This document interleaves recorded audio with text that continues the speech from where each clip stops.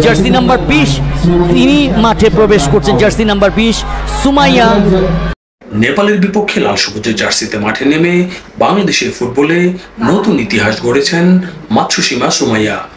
জাতীয় নারী ফুটবল দলে তিনি প্রথম ভিনদেশে জন্ম নেয়া খেলোয়াড়। তার বাবা বাংলাদেশি হলেও মা জাপানি। তার আগে ছেলেদের ফুটবল দলে ঘটেছে এমন ঘটনা। ডিফেন্ডার তারিক কাজীর মা বিদেশি আর বাংলাদেশি বাবা। দু হাজার এক সালের পনেরোই ফেব্রুয়ারি জাপানে জন্ম নেন মাতসুসীমা সুমাইয়া। তার বাবার নাম মাসুদুর রহমান এবং মায়ের নাম মাতসুসীমা তমুমি। দুই বছর বয়সে প্রথম বাংলাদেশে আসেন। তবে দশ বছর বয়স পর্যন্ত জাপানে বেড়ে উঠেছেন বাংলাদেশি বংশোদ্ভূত এই কন্যা। তখন পর্যন্ত ফুটবলে হাতে খড়ি হয়নি তার। দু হাজার দশ সালের দিকে বাংলাদেশে চলে আসেন সুমাইয়া। তাদের বাসার সামনে বাড়িধারা ইউএসএস পার্কে ছেলেদের খেলতে দেখে ফুটবলে আগ্রহী হন। দু সালে সেখানেই প্রথম ফুটবলে লাথি মারেন সুমাইয়া। আর সেদিন থেকেই খেলাটির প্রেমে পড়ে যান। ফুটবলে হয়ে ওঠে তার ধ্যান জ্ঞান কিছুদিনের মধ্যেই বল পায়ে সুমাইয়ার দক্ষতা সবাইকে মুগ্ধ করে। নাইজেরিয়ান কোচ ডলি ভাবিনের কাছে তালিম নেওয়া শুরু করেন সুমাইয়া। তার স্বপ্ন জুড়ে তখন জাপান জাতীয় দলে খেলে বিশ্বসেরা হওয়া। অনেক ভালো খেলে। এই জন্য আমি জাপানিজ টিমে খেলতে চাই। আমি বেস্ট প্লেয়ার হতে চাই জাপানিজ ন্যাশনাল টিমে খেলতে চাই, আর ওয়ার্ল্ড ফেমাস হতে চাই বায়ান ডিয়ার পেতে চাই।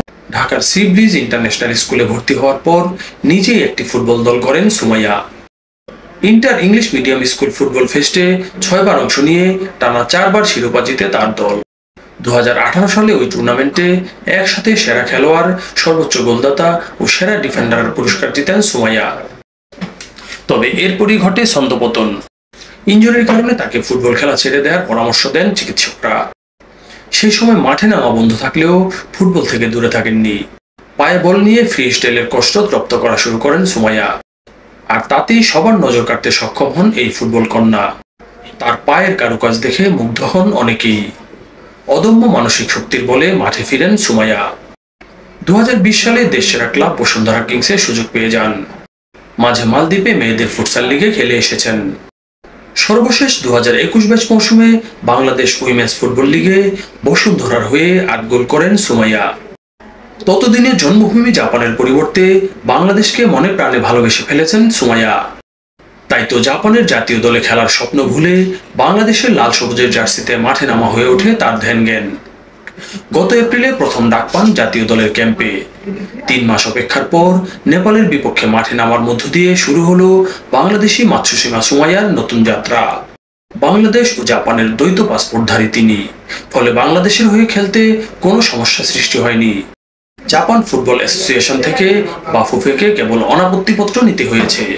বাংলাদেশ নারী দলের অন্য ফুটবলারদের মতো নয় সুমাইয়ার পথ চলা। বাকিরা বয়স ভিত্তিক দল পার করে এলেও তিনি সরাসরি সুযোগ পেয়েছেন জাতীয় দলে। এ কারণে তিনি অভিজ্ঞতায় কিছুটা পিছিয়ে। তবে সেই চ্যালেঞ্জ জয় করেই সামনে এগিয়ে যেতে চান মাতসুসীমা সুমাইয়া।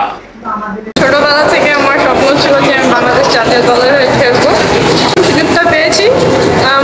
পারফরমেন্স ঠিক মতন শো করতে পারি নাই ফার্স্ট টাইম ছিল তাই একটু নার্ভাসনেস কাজ করতেছিল বাট ট্রাই করেছি আমার বেস্ট নেক্সট ম্যাচ বা নেক্সট টুর্নামেন্ট থেকে আমার চেষ্টা থাকবে আমার আরও বেটার করা প্র্যাকটিসে বেশি বেশি করে বাংলাদেশি ফুটবলটা শুরু আমার। জাপানে মনে হয় না ফুটবল খেলতাম, ওখানে অন্য কিছুও করতে পারতাম বাট ফুটবলে মেইনলি আসে বাংলাদেশের ড্রিম আছে বাংলাদেশকে আরও লং টাইম সার্ভিস দেওয়ার।